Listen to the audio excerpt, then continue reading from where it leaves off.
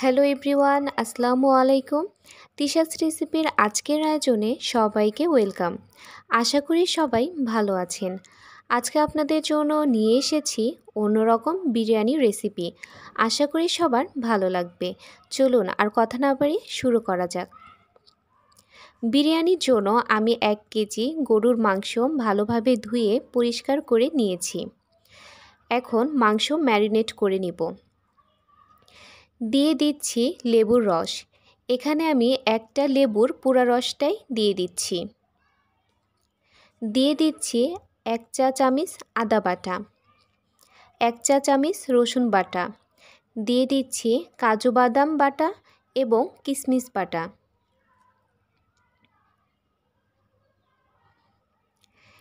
দিচ্ছি দুই চামচ হলুদের গুঁড়া।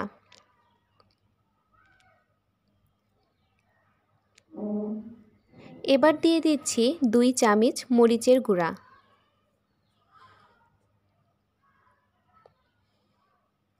দিচ্ছি পরিমাণ মতো লবণ।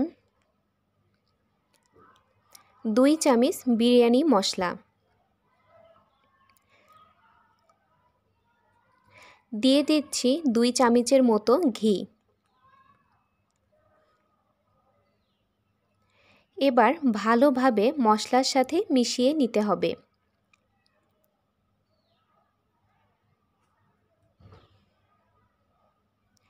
এভাবে আমি এক ঘণ্টার জন্য রেখে দিব। কড়াইতে তেল দিয়ে দিয়েছি।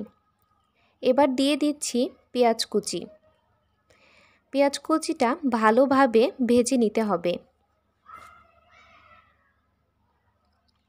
পেঁয়াজ কুচিটা ভাজা হয়ে গিয়েছে, দিয়ে দিচ্ছি দুটা দারচিনি, তেজপাতা এবং চার পাঁচটা এলাচ। এবার ভালোভাবে একটু নেড়ে চেড়ে নিচ্ছি।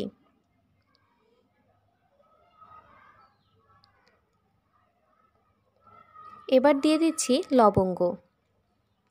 ভালোভাবে নেড়ে চেড়ে নেওয়ার পরে এবার মেরিনেট করা গরুর মাংস দিয়ে দিচ্ছি। এবার একটু ভালো করে নেড়ে চেড়ে নিব।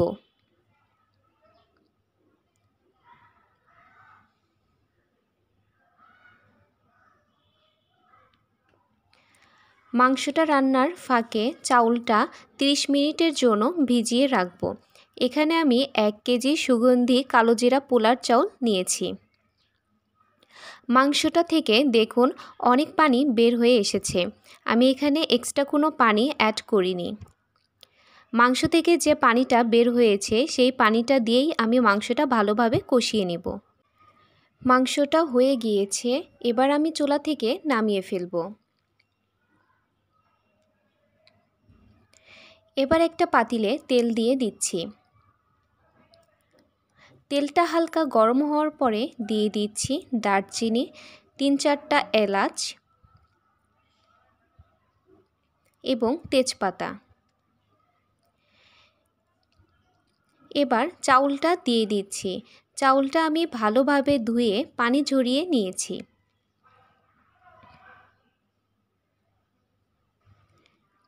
এবার চাউলটা ভালোভাবে ভেজে নিব। দিয়ে দিচ্ছি পরিমাণ মতো লবণ।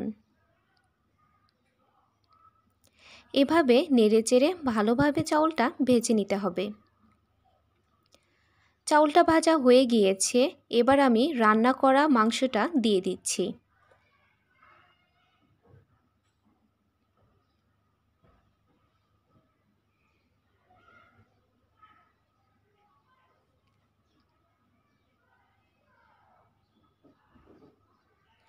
এবার ভালোভাবে মিশিয়ে নিব।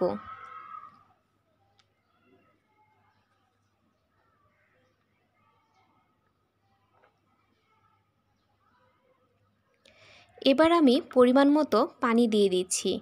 আপনারা এক কাপ চাউল দিলে ওই কাপের দুই কাপ পরিমাণ পানি দিয়ে দিবেন, তাহলে বিরিয়ানিটা ঝরঝরা হবে। এবার আমি ঢাকনা দিয়ে ঢেকে দিব। দেখুন, পানিটা অনেকটা শুকিয়ে গিয়েছে, এমন পর্যায়ে দিয়ে দিচ্ছি বেরেস্তা এবং দুই চা চামচ ঘি।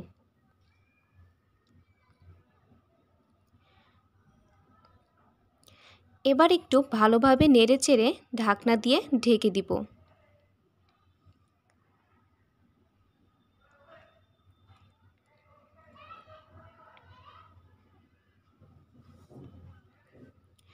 বিরিয়ানিটা তৈরি হয়ে গিয়েছে, এমন পর্যায়ে আমি চুলা থেকে নামিয়ে ফেলব। তৈরি হয়ে গেল স্পেশাল বিরিয়ানি। আশা করি সবার ভালো লেগেছে। আপনারা বাসায় অবশ্যই ট্রাই করবেন। ভিডিওটি ভালো লাগলে লাইক এবং সাবস্ক্রাইব করতে ভুলবেন না এবং পাশে থাকা বেল অবশ্যই প্রেস করবেন নতুন ভিডিও সবার আগে পাওয়ার জন্য। আল্লাহ হাফেজ।